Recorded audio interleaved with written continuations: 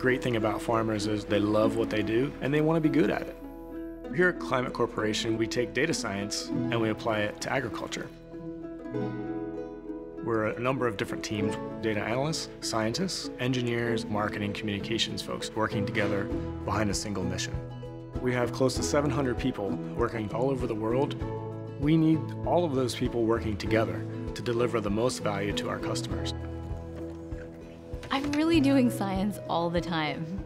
I spend the majority of my commute on my research, on my work. I like to have a lot of information at my fingertips. Chrome browser is where I start my work. It's the first method of development for our web product. Regardless of if you're in a commercial team or a product team or a scientific team, all of these teams come together and work on a common platform, so we're much more efficient.